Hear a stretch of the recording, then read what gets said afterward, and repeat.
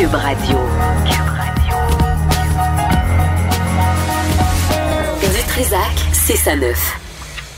Martine Ouellette est avec nous. Euh, Martine Ouellette, bonjour. Bonjour. Euh, ancienne chef du Bloc québécois et ancienne députée péquiste. Euh, bienvenue. Alors, euh, je sais pas si on va se parler de politique, penses-tu? Ben oui, ça serait le fun. J'espère. Euh, magazine, oui, je le veux. C'est euh, pour le salon de la mariée. On voulait que ça soit de bonne humeur, faire un petit clin d'œil à comment les gens parlent des indépendantistes en les traitant de séparatistes. On dit, ben Ouais. oui, je le veux, le projet de liberté du Québec. Mm. Donc, euh, on veut de l'humour là-dedans parce qu'on veut que ce soit de bonne humeur. Puis, je suis très contente de la- du magazine. Je pense que vraiment, on a réussi un beau magazine avec des collaborateurs vraiment extraordinaires, aguerris, euh, souvent les meilleurs dans leur domaine, avec une chronique sur le français, sur l'environnement. Vous comprenez, l'environnement, il va y avoir une chronique sur l'environnement à chaque numéro, c'est Ouais. garanti. Sur l'économie aussi. Euh, puis le premier numéro, ben, le dossier transparlementaire, on va toujours avoir un gros dossier, c'est l'immigration. Mais c'est un magazine pour faire la promotion de l'indépendance. J'imagine que vous avez eu des subventions du fédéral. Hey, je sais pas comment ça se fait que ça marche d'un bord puis que ça marche pas de l'autre bord. hein? Hein? Je, on- Ça veut-tu dire non, ça, comme réponse? C'est tellement compliqué de faire les démarches pour être sûr de se faire dire non que euh, je dois avouer qu'on n'a même pas essayé. Là, on n'est pas comme la presse, nous autres, qui réussit à avoir un journal fédéraliste qui finalement, à travers toutes leurs patentes de d'organismes à but non lucratif, va Ouais. être financé en partie par les citoyens. T'as Eux pas une autres, fondation? T'as pas... eux autres, ils l'ont l'affaire. Hein? Je- Ben, je non. bien. Ah ouais, fallait, fallait le prévoir. Alors, quel est le but euh, de- du magazine Oui, je le veux, Vive le Québec libre? C'est une nouvelle revue indépendantiste. Ben, je pense que ça s'est vraiment pas fait beaucoup, en tout cas pas depuis 95, où on présente les dossiers, pas dans un angle d'améliorer la province du Québec dans le Canada, mais dans un angle de dire on va sortir du régime, on va réaliser l'indépendance. Donc vraiment dans un angle indépendantiste et euh, de façon très de bonne humeur. Donc oui, il y a des articles d'actualité, des articles de fond comme cette fois-ci c'est sur l'immigration, mais aussi des entrevues avec des personnalités, euh, un coin lecture, même une section voyage. Donc euh, cette fois-ci euh, voyage au cœur du fleuve Saint-Laurent avec les photos extraordinaires de Patrick Bourgeois qui est un photographe sous-marin.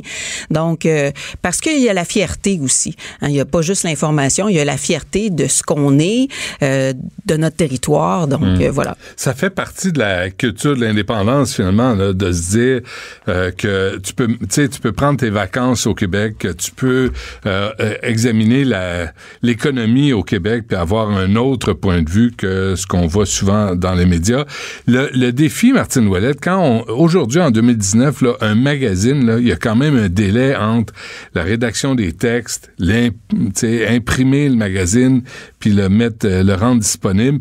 Il peut avoir un décalage entre ce qui est, ce qui est le, dans le contenu comme tel, comme tel, puisque tout va si vite. Oui, mais comme tous les autres magazines. Ben il y a oui. certains dossiers, l'immigration, on, fait attention au choix des dossiers. On sait que peu importe là ce qui va arriver, c'est un dossier d'actualité. On a un gros problème avec l'immigration actuellement au Québec parce qu'on ne détient pas tous nos leviers. Donc on sait que ça va être un dossier d'actualité.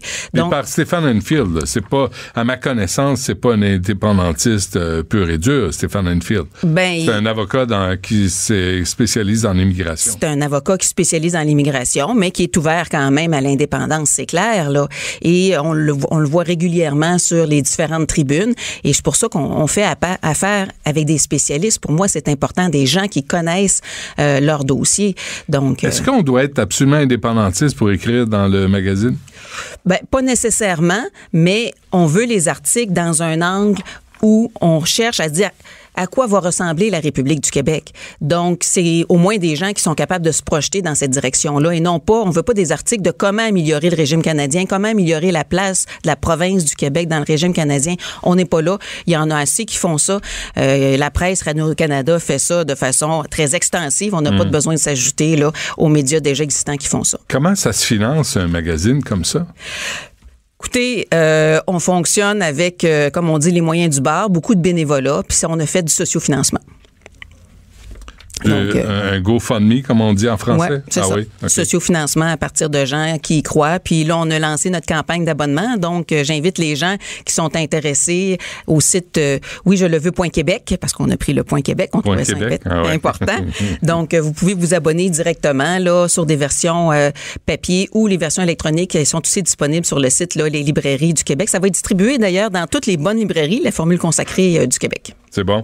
Il y, a, y, a, des publicités en, bas, en bas de page. Il y a des agents d'immeubles. Ça, eux autres aiment ça, se voir la grosse face euh, en publicité. Mais, mais il y a aussi des élus qui ont euh, mis de l'argent dans votre magazine, euh, Martine Ouellette. Et Sol Zanetti est, là-dedans, de Québec solidaire. On a des représentants des trois partis indépendantistes, c'est-à-dire Québec solidaire avec Sol Zanetti. On a le Bloc québécois avec Marilène et Xavier. Et on a le Parti québécois avec Harold Lebel. Oui. Un magazine pour apprendre à travailler ensemble, ça vous tente pas? Pour peut-être le deuxième numéro, comment les indépendantistes, parce que vous, la division au Bloc québécois, vous l'avez vécu, euh, là, on voit ce qui se passe au Parti québécois, il me semble que ça prendrait tout un numéro spécial. Moi, je pense que, et là, ça commence à sortir, mais moi, depuis 2014 que je le dis, c'est sûr qu'en étant ambigu sur l'indépendance, ou pire, en tensant l'indépendance, il y a une chose qui retient tous les indépendantistes ensemble, parce que sur les autres sujets, on peut avoir vraiment des opinions différentes. Mais il y a une chose qui nous retient ensemble, c'est l'indépendance. Lorsque tu mets l'indépendance de côté, ben tu le pues ton ciment. Donc, euh, moi, je me semble que c'est une évidence. Là, moi, depuis 2014 que je, présente ça, puis, euh, mais là, j'espère qu'à un moment donné, euh, les gens vont s'en rendre compte mm. qu'un parti indépendantiste qui dit je ferai pas l'indépendance, c'est comme un parti vert qui dit ben votez pour moi, mais je vais rien faire pour l'environnement quatre prochaines années, ben tes partisans voteront pas pour toi, mais tes adversaires non plus. Hmm. Donc, je ne comprends pas cette logique. C'est une bizarre de logique tordue. Je sais pas comment ça se fait que le mouvement en est arrivé là. Et comment vous comment vous expliquez la Catherine Fournier sa, sa, démission soudaine? Je comprends pas trop. Je comprends pas trop. Bienvenue dans le club. Moi. Ouais. Il y a personne qui comprend. Est-ce que ça se peut qu'il y ait une option nationale 2.0 qui s'en vienne? Ouais, mais peut-être, mais même à ça, là. Vous n'avez pas été appelé, rien? Non. Non, pas, pas de signal de phare, rien tout. Non, mais c'est désolant de voir ça, là. Tu sais, euh, Catherine Fournier qui s'en va, Jean-François Lisée qui se fait... Moi, je trouve ça... Euh, qui se fait planter par Danny Turcotte, tout le monde en parle, là, il se fait traiter de prétentieux d'égocentrique, grosso modo, c'est ce que ça voulait dire. C'est... Je sais pas, on dirait que c'est juste des mauvaises nouvelles pour le mouvement moi, je sais pas ce qui va se passer, mais c'est clair qu'actuellement, il y a euh, il y a une recherche. Hein? il y a une recherche et je pense que les repères ont été perdus. Euh, moi, je fais une analyse un petit peu au-delà des individus. Euh, je pense que le mouvement lui-même s'est perdu dans les 25 dernières années, s'est perdu dans des logiques tordues. Le mouvement s'est perdu dans une recherche de pouvoir qui l'a amené à vouloir améliorer la province du Québec dans le Canada, à vouloir défendre les intérêts de la province du Québec hmm. dans le Canada, tout en se disant indépendantiste. Donc les gens veulent être, réaliser l'indépendance, mais ils agissent pour améliorer le régime canadien. Là, tu as une espèce de, il y en appelle ça, hein, la dissonance cognitive, là, où ce que tu veux, puis ce que tu fais, c'est deux affaires différentes. Mm-hmm. On ben, est bon là-dedans. Ben, c'est ça. Euh, Yves-François Blanchet fait une bonne job? Bof. Pas plus que ça. Moi, quand je vois que Yves-François Blanchet est là à améliorer, à défendre les intérêts de la province du Québec et à dire, nous, on va appuyer les consensus de la CAQ, qui est un parti qui vise à améliorer euh, la province du Québec, mm. ben, OK. Mais ça, c'est pas de l'indépendance. Puis c'est pas la promotion de l'indépendance. Tout le monde, selon vous, Martine Ouellet, tout le monde est dans le concept du beau risque là, qui, a, commencé à torpiller le Parti québécois avec Pierre-Marc Johnson. Ben, c'est probablement pas ce qu'ils veulent, mais c'est ce qu'ils font. Oui, je le veux. Vive le Québec libre, c'est un nouveau magazine qui est en kiosque là. Oui, ou dans quelques jours, dépendamment là, des, euh, des librairies, parce que les envois se sont faits là, euh, lundi passé. Donc, euh, le temps que ça se rende, là, fait que dépendamment des librairies, là, ça devrait être en kiosque aujourd'hui ou début de la semaine prochaine. Un magazine indépendantiste, mais qui fait pas, mais qui parle de d'un paquet d'un paquet d'affaires, les finances et l'immigration et l'environnement. c'est pas juste euh, décortiquer la Constitution de 1982. Ben non, pas du tout.